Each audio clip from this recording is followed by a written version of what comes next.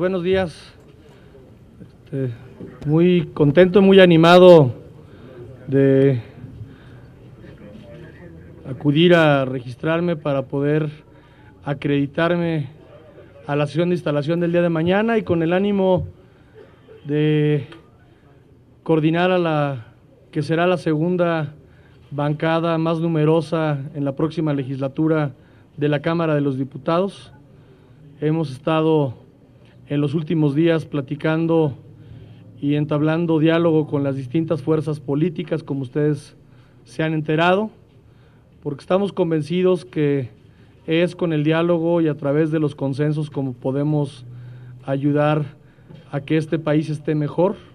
Será con la agenda propia de Acción Nacional, pero será siempre en las coincidencias con cualquier fuerza política y con el próximo gobierno. Y pues si hay alguna pregunta, estoy a sus órdenes, porque vamos a recibir ya las oficinas de manos del coordinador saliente Carlos Pérez Cuevas. Nosotros no nos hemos sumado al PRD en los términos de el gasto estratosférico que hubo en la elección anterior y tampoco hemos dicho que fue el PRI, pero bueno, Sí hemos dicho que hubo un gasto espeluznante, indignante, grosero, que se vio a lo largo y ancho de la República Mexicana y que en un país con tantas necesidades, la verdad es que no podemos tener una democracia tan cara.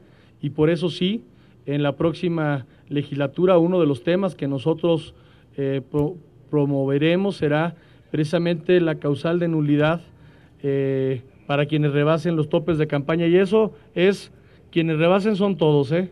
No es en favor de ningún partido, es en favor de la democracia. Número dos, la reunión que tuvimos el día de ayer con los compañeros del el Partido de la Revolución Democrática forma parte de una agenda de acción nacional para encontrar coincidencias, insisto, en torno a nuestra propia agenda, en donde estaremos abiertos a escuchar, dispuestos al diálogo y comprometidos con el consenso en favor de México. Nosotros estamos absolutamente eh, ciertos de que lo que México requiere son soluciones, más soluciones y más soluciones. Y esto no implica bajo ninguna circunstancia un bloque anti-PRI y mucho menos anti-México. Nosotros no venimos en un afán de, revancha ni vendremos eh, con mezquindad a la Cámara, por el contrario hemos sido nosotros, Acción Nacional, los que en los últimos 12 años hemos promovido las reformas de hondo calado y no nos va a dar el mal de la chimoltrufia, que como decía una cosa, ahora dice la otra. La verdad es que venimos con la convicción, pero vamos a esperar que las reformas sean las ya de veras. Yo creo que los anuncios que ha hecho el licenciado Peña pues son muy valiosos, pero lo serán una vez que veamos esas iniciativas y que las iniciativas sean de a de veras no decorativas, no nada más eh, para maquillar eh, a la opinión pública y darle a tole con el dedo al pueblo de México, porque en esa parte no contarán con nosotros. Nosotros queremos sumarnos a todas las fuerzas políticas que tengan algo que aportarle a México y lo haremos no importa de quién sea la iniciativa. Valiente y las empresas. Y número tres, la verdad es que tiene que investigarse hasta el fondo. Porque lo que hemos visto en muchas partes, no nada más en este ejemplo que tú pones, es la clásica que los benefactores de los concursos de obra pública o de las grandes licitaciones son también los eh, principales aportantes a las campañas eh, políticas. Entonces, de pronto, nos queda la sospecha, se genera la suspicacia, si estas personas que hicieron los donativos lo hicieron por una convicción legítima o lo hicieron para pagar un compromiso de haber recibido un beneficio de algún concurso o alguna licitación pública. Entonces, que se revise hasta las últimas consecuencias para que este, limpiemos las elecciones y sigamos en el camino de democratizar a México. Efectivamente, son 15 años de que en esta Cámara ningún partido tiene mayoría. Y son también 15 años en que ningún partido ha obtenido más del 35% en unos comicios electorales. Y lo que Acción Nacional ha firmado con todas sus letras es que es tiempo de pensar en la segunda vuelta electoral, que permita coaliciones legislativas, que permita gobiernos con mayoría, que le dé estabilidad política a este país y será una de nuestras propuestas. Bajo ninguna circunstancia nos vamos a sumar a la toma de calles y mucho menos a la toma de tribunas. Este es un partido que históricamente siempre ha defendido la legalidad, el Estado de Derecho y lo vamos a seguir haciendo, no será la excepción.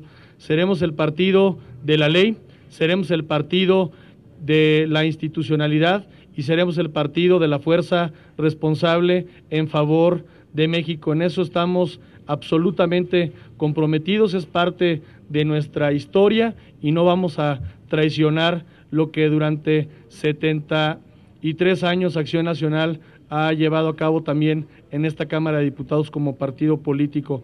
Y respecto a la segunda pregunta, pues vamos a esperar a que venga la iniciativa que presente el próximo gobierno en materia de reforma fiscal, para qué anticipar vísperas, para qué generar un falso debate respecto a una iniciativa que no está presentada.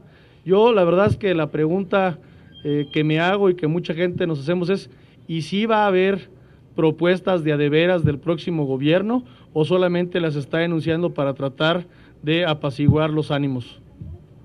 Considero que no es un asunto de tiempos, es un asunto de saber ganar y de saber perder.